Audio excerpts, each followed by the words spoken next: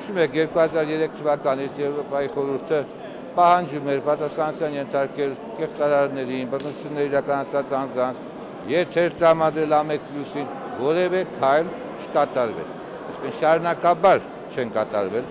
պահանջները։ Շահությունները բոլոր հնարավորությունները ունեին համապատասխան քայլեր քայլեր կատարելու, որոնք կնպաստեին ստեղծված ճգնաժամի հաղթարման եւ մենք բազմից ենք ասել դրա մասին։ Առաջի հերթին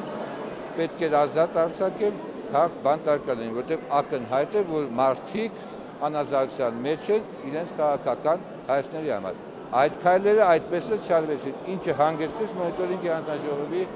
առաջարկությանը։ Հիմա գոնե իշխանությունները պետք է համապատասխան իզակացնեն անեն եւ արագ այս հարցը լուծեն։ Բանտարականները պետք է ազատ արձակվեն, պետք է արդարացվեն։ Գործը շինծու է, ակնհայտ է, որ հեղաշրջման փորձ չի եղել, ընդդիմությունը որտեղել էր քաղաք պայքարի ճանապարհը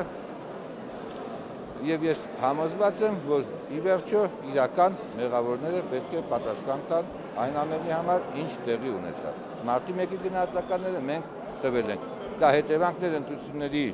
ժամանակ իրականացված կեղծիքների եւ բռնությունների եւ իշխանությունը ամեն գնով պահելու վարչախմբի գործելակերպը ի վերջո հանգեցրեց այդ ողբերգական իրադարձություն